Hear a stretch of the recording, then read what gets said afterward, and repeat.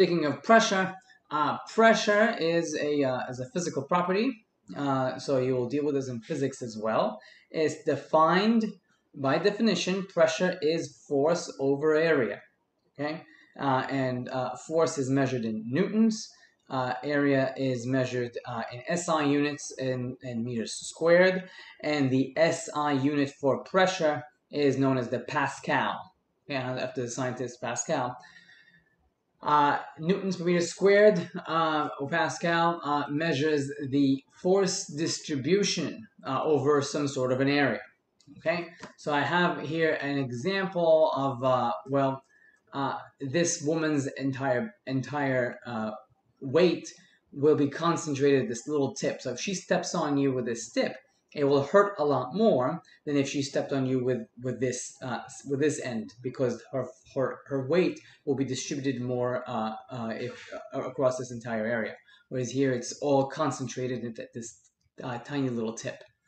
Okay, so uh, it's, it's a funny little thing here, but you know, an, an elephant has a, a, a larger area than, than a heel, would, a stiletto heel, and so the the pressure, I guess, will be lower here than will be here. So, and you feel that when you feel that on your body if someone would step on you. Now, an elephant weighs a whole lot more than a, than a typical woman, so uh, though it's low pressure, it's still pretty weighty and it would hurt a lot. But uh, just to explain to you, I mean, I guess the best way is to just compare uh, how this woman would, if she were to step on your foot, uh, you compare this this pressure here to this pressure here, and you can see you can understand what the force distribution would do to you and how you'd feel about that. Okay, I could look at molecules just dancing at a dance party inside of this box. Okay, and basically I can define the pressure uh, another way as well. Um, how often do they hit the wall or container? So if I have like uh, someone I don't know some intern sit here and just count uh, the number of collisions that the balls uh, interact with the wall, uh, the number of collisions, the, the, the, the, the higher the number, the, the more pressure that these things exert. Okay, so if you can imagine if I were to expand the size of this box, uh, it would not be very frequent for these circles to hit the wall, uh, and so the pressure would be lesser than if I were to uh, diminish the size of this box. Uh, at which point, at which point the the, the these circles will hit the wall a whole lot more, meaning that they are uh, exerting more of a pressure uh, inside there. So uh, it's just another, it's a molecular explanation of pressure. This is a physical explanation of uh, pressure. So I'm presenting both of them. Uh, yeah, so whichever one jives with you, go with it. Uh, so one thing that you've, you've definitely heard before. Uh, you hear that when uh, weather people on TV or uh, uh people who study climatology discuss this. Uh, and there's this thing called atmospheric pressure, and that is the pressure that is exerted by the atmosphere on on us. Okay, uh, and basically, uh, from a biological point of view, we don't feel it. Okay, we, we evolved so that we don't feel the weight of the air. So basically imagine that all of the air is this woman's leg, okay? Uh, and we live here, uh, we don't feel this pressure of this woman's weight because we were just, uh, we evolved not to feel that.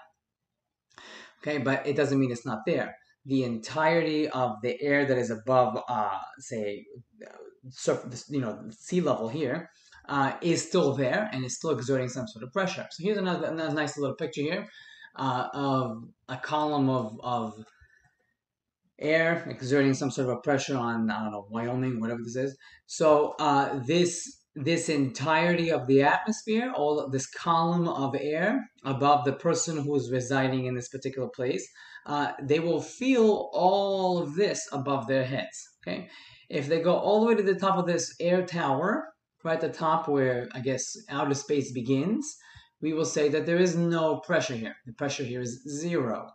At sea level right here, the pressure is the atmospheric pressure, and we have defined it uh, as one atmosphere, okay, atmosphere being a unit of pressure, one atmosphere.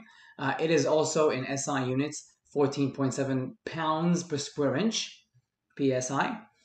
Uh, it is also uh, in the units of Pascal, which we, which is the this is the SI units, 101,325 pascals, uh, which is 760 millimeters of mercury, or aka torr, Okay, uh, named after the scientist Torricelli. Uh, millimeters of mercury sounds a little random, doesn't it? Uh, well, here's an explanation of that. This is a barometer. Okay, this here is the barometer, bar meaning pressure. It is measuring the pressure. And so imagine I have a vat of mercury, and this was done by the scientist uh, Torricelli uh, a few hundred years ago. Uh, and so, so he had uh, a mercury bath here, and he put he submerged into it uh, a, a tube, and he evacuated the air here because there's nothing here. So imagine at first it, it, this entire thing is empty. This this tube is empty. There's no blue here. Okay, and you put it in. And so what happens from from a point of view of physics? The pressure, the the the column of air that is above that bath is exerting uh, is exerting some sort of pressure onto the surface of this liquid. Okay, uh, and it just worked out so well that if you do it with mercury, it would rise uh, 760 millimeters exactly and so he uh, that's how he measured it. And so you can correlate basically the height of um, of a liquid rising in a column uh, and uh, equate that to pressure. Uh, so uh, this height here varies with atmospheric pressure. So if I were to take this barometer and I were to put this at the top of this air column I would see nothing. It would not rise at all because I have the, the air is not is not pushing down on this surface of this mercury. So that wouldn't happen. Right. Another uh, sort of nifty device is the manometer.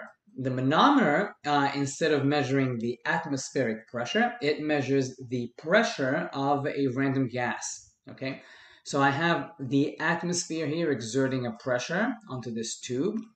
I have mercury here, in this dark gray. And the other side here is a flask attached, uh, imagine like a big bulb here uh, where a gas hangs out. Uh, and so the idea is, well, I want to know what the pressure of this gas that's in this flask.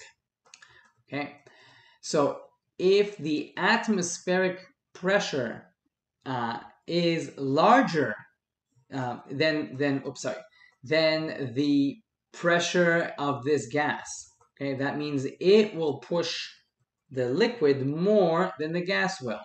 Okay, this is this is A. In B, the gas pushes the liquid more than the atmosphere does. Atmosphere does. So meaning the gas has more of a pressure than the atmosphere. Okay. So if I were to give you a problem, and I'll go over one in a second, where uh, the atmosphere pushes more than than the gas, then I will see a rise on this side, on the gas's side. Okay, and to find the pressure of this gas, I will say, well, it's 760 minus whatever this difference in height is. So I could put this, I could put a ruler here, and I can measure this height. So here it's 118. So someone were to measure this thing and said, okay, between here and here, this thing rose 118. Okay, in the absence of everything, it will just be level, as you would know, as you know, right? So because because of this, since the pressure of the atmosphere is larger than the pressure of this gas, the pressure of the gas would be lower than 760. So that makes sense. It would be 760 minus 118 would be 642 millimeters of mercury. Okay, and I can use this conversion factor here to go from millimeters of mercury to psi or to atmosphere, whatever I want. Okay, and I'll, I'll go over that. Don't worry. Uh, so uh, in this example in part B, the gas exerts more of a pressure than the atmosphere does. So it just stands to reason that the pressure of this gas be higher than 760. Okay, so uh, it's just, I mean, just just in, from an intuitive point of view, uh, you should you should figure out whether to subtract from 760 or add to 760. So here you want to add to 760. Here you want to subtract from 760 because here it should be lower. Here it should be higher. So if I were to measure again the height difference from here to here, it would be 215. And if I were to add 215 to 760, this would be the pressure of this gas. And again, I can convert to whatever other unit I want. Uh, and so let's go over uh, an example here uh, together. Uh, uh,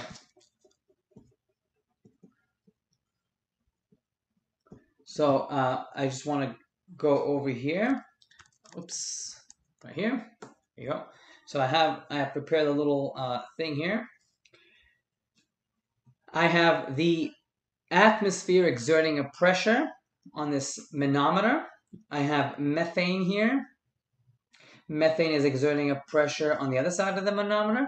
And you can see uh, right here that uh, the atmosphere exerts more of a pressure than the methane does. So methane should have a pressure that is less than the pressure of the atmosphere. So it should be less than 760. So P of CH4 should be less than 760. So I should subtract this height difference. So it's 760 millimeters of mercury minus 20 millimeters of mercury. And my answer should be 740 millimeters of mercury. Okay, now if someone were to ask you convert this, so I'm just coming up with this on the fly, convert to atmosphere. Okay, so uh, from the uh, from this thing here, I'll go back to that here. I see here 760 torr, which is 760 millimeters of mercury. It's the same unit. Uh, this thing is equal to 1 atm. Okay, so that will be my conversion factor for my my dimensional analysis. I want to put the ATM at the top and 760 millimeters of mercury at the bottom so it cancels out. So, uh, so 740 millimeters of mercury times uh, 760 millimeters of mercury is equal to 1 ATM. Uh, and if I were to plug this into a calculator, which I didn't pre-do, there you go. It would be 740 over 760. Uh, and this thing would be 0.974 ATM. Okay, so that's how you would do that. Okay, so you can convert them and you can use this sort of dimension analysis to con interconvert between any of these. So I can go to pascals if I wanted to, uh, or I can go to uh, PSI, and there's other units of pressure as well uh, if if you're uh, so inclined, you can look them up. Uh, you'll you'll see them. You'll definitely see them. So let's look at this next example of another manometer. In this example, it's the opposite. The atmosphere exerts less of a pressure than this gas Z. Z exerts more of a pressure. And I want this in PSI. Okay, so it will, it will force us to do this conversion yet again. So um, now uh, it stands to reason. So we'll we'll start we'll start doing this in millimeters of mercury because we have everything in millimeters of mercury.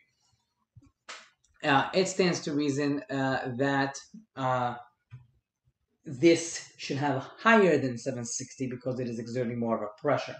So the pressure of gas Z should be 760, which is the atmospheric pressure, plus this height difference, which is 15, Uh, and then this should be 775 millimeters of mercury. I want to convert this pressure to PSI, and uh, I'm just going to go with 14.7 PSI is equal to 760 millimeters of mercury. So in order for me to do this, I need to, to use this as a dimensional analysis tool to figure this out. I want PSI, so that will be at the top. And so 775 millimeters of mercury multiplied by the dimensional analysis factor. I want to cancel millimeters of mercury, so I'll go to the bottom with it. And I want to get PSI, so I'll go to the top. Uh, this thing is 760. This thing is 14.7. Uh, and again, I didn't pre-do this, but it's not a big deal. Just type into the calculator 775 times 14.7 divided by 760 uh, and you get that this is uh, 14.99. We'll need three sig figs, so this will be 15.0 psi. So it's higher than the 14.7 that I uh, that is the atmospheric pressure. So that there you go. So that's how you would do that. Okay. So that goes over the manometer. All right. Now gas laws. This is uh, a new uh, another topic we'll go over in a few minutes.